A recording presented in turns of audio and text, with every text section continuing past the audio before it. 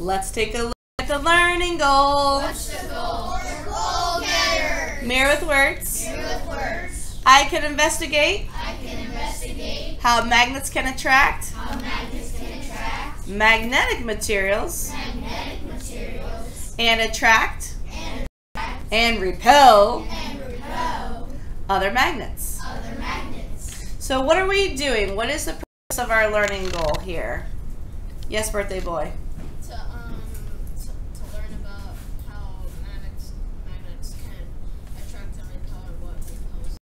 Very good. And what does attract mean? What does it mean to attract? Yes, John? To pull together? To pull together. And he remembers repel? Uh, I'm going to go with Hayden over here. To push apart or push away. So with our learning goal, investigate. How do we investigate? What do we have to do? Mr. Brennan? You have to like, um, you have to take hypothesis and experiment and see if your hypothesis is right. Ooh, I love how you said hypothesis like it's a scientific method. We do that pretty much every day, don't we?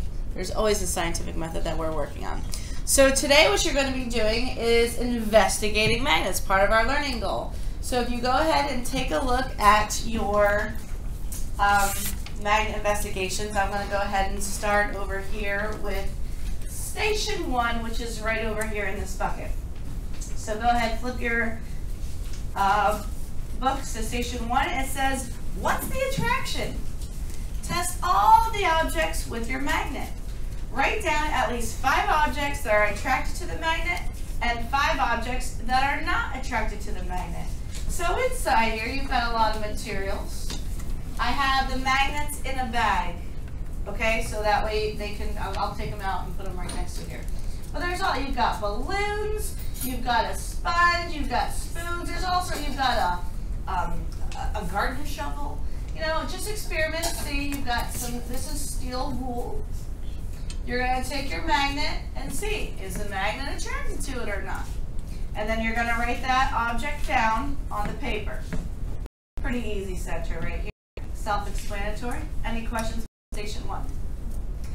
Moving right along here, I'll be my little Vanna White to station two. And it says, through thick and thin. Test if a magnet can attract a paper clip through a variety of materials.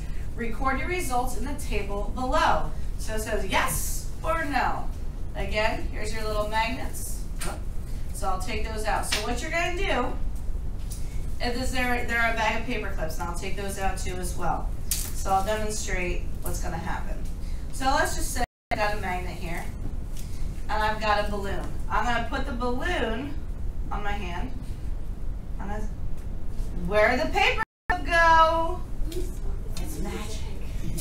So can the paper clip, obviously we know that that is magnetic, can that go through the balloon? Yes. Yes. You can try both poles. Remember we are talking about the poles, the north and south pole? Does it work on both poles, north and south? It does. So that one you know, does it work? You can ride a balloon? Yes, it does. So I'll go ahead and put these materials back here. And you've got, you've got some cardboard. You've got some plates. You've got some, um, what do you call this? Foam. Thank you, foam. Uh, I put some tissues. I, I put all sorts of goodies in here. Cardboard.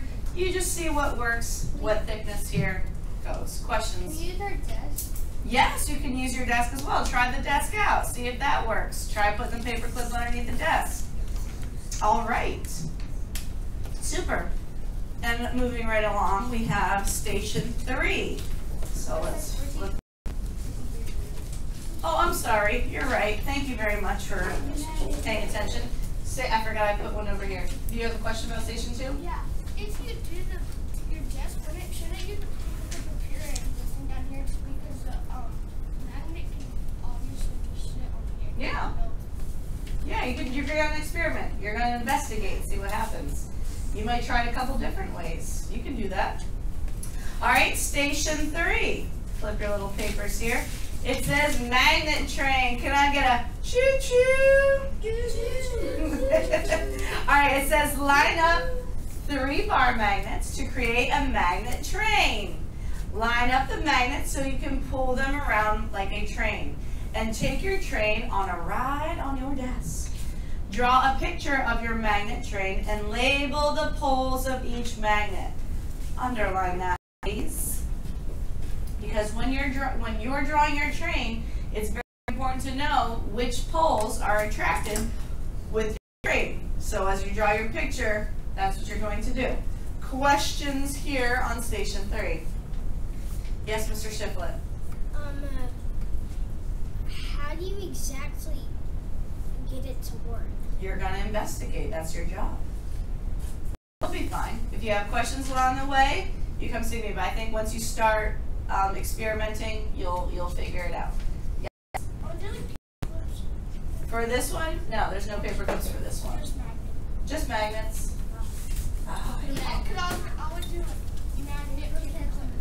Oh, hey, well, there might be something similar in another station. Yes, sir. How much magnets do you have?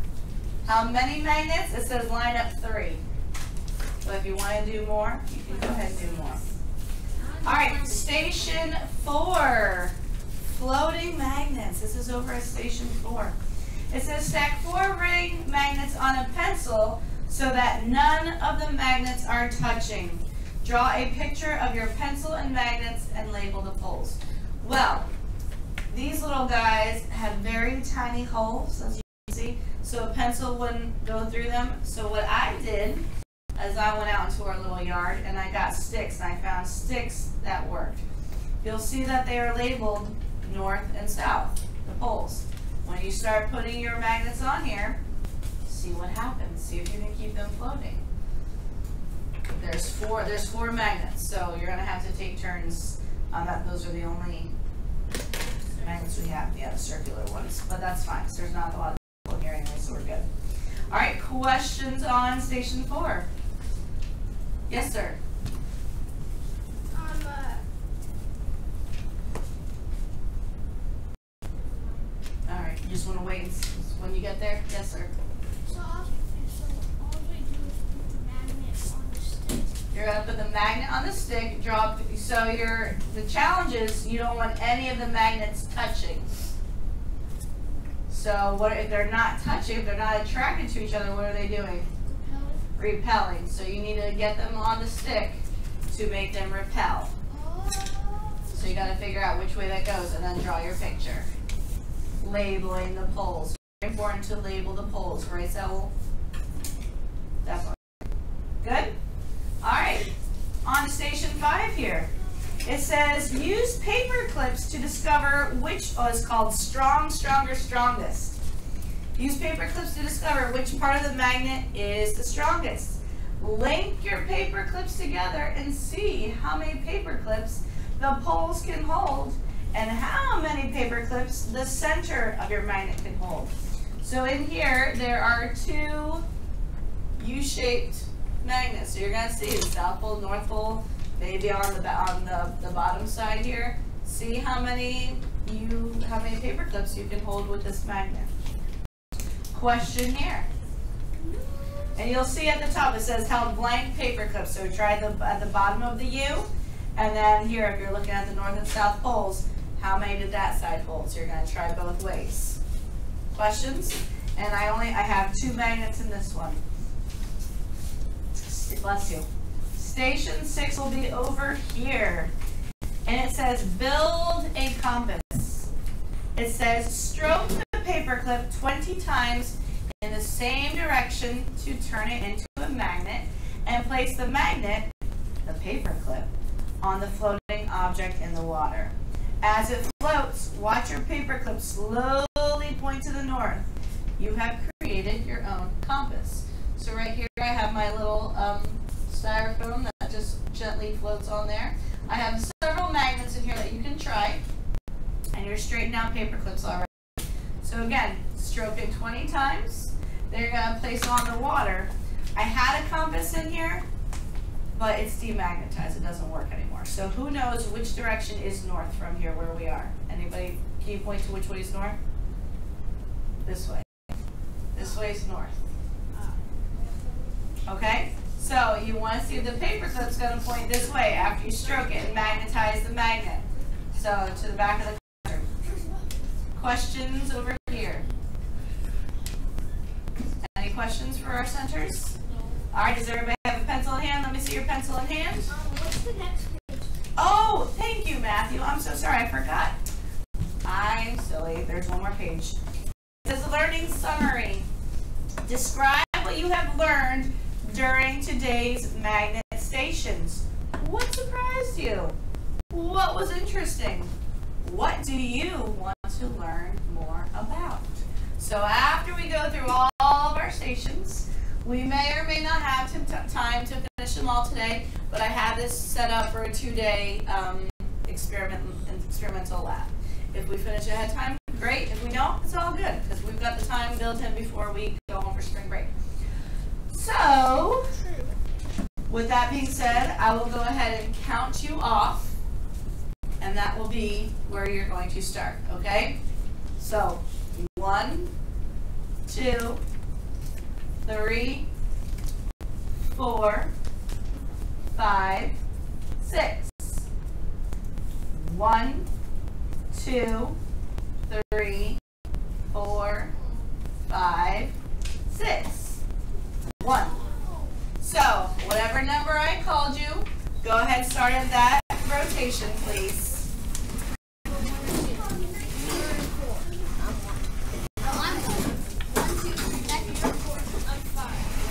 All right, wonderful. Is it this one? I love how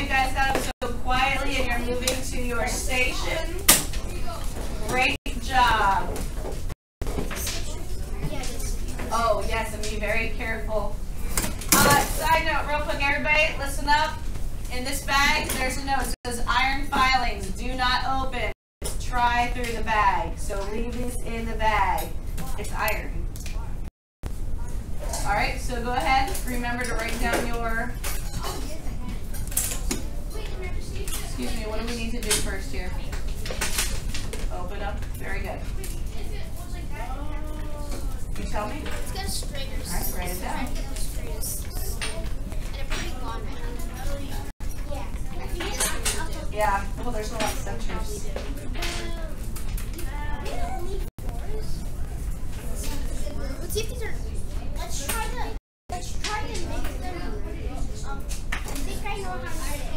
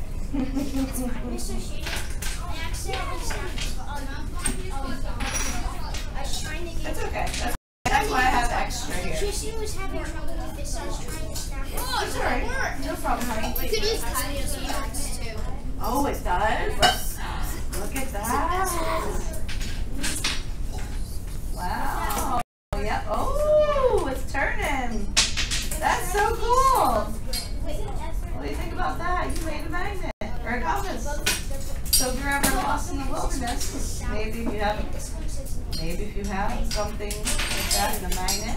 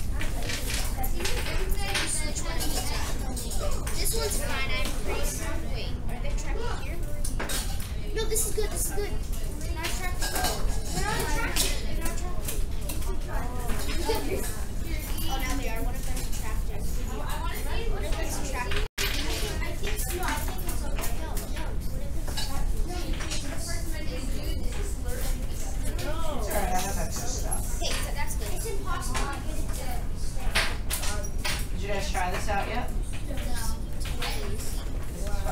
There used to be a game when I was little. Okay, good. They're not.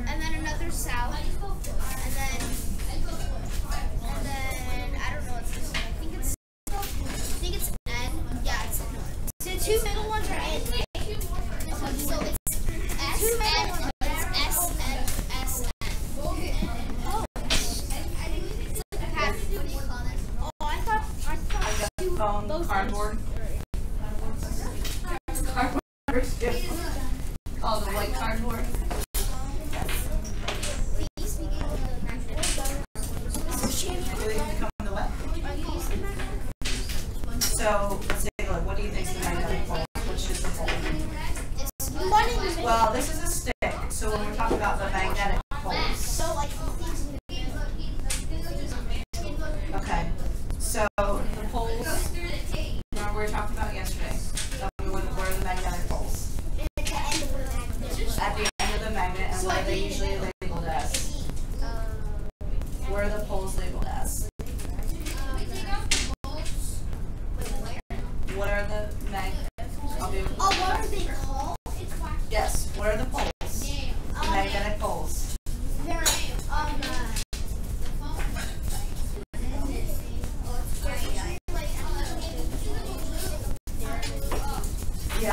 they're at the end, so what do we call them?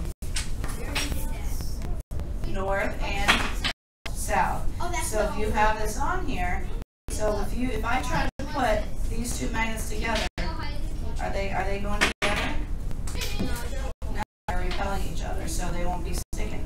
And same here, right? If you try pushing them together. So here you've got well, if I hold them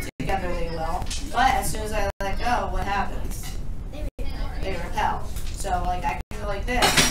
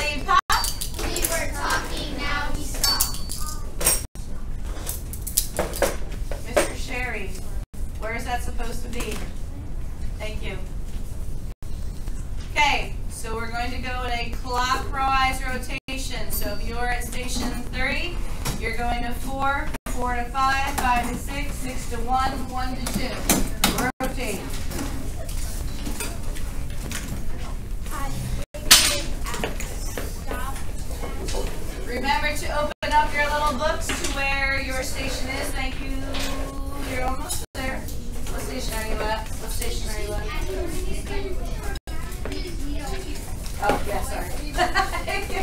I saw floating, I thought it was the other one. Very good.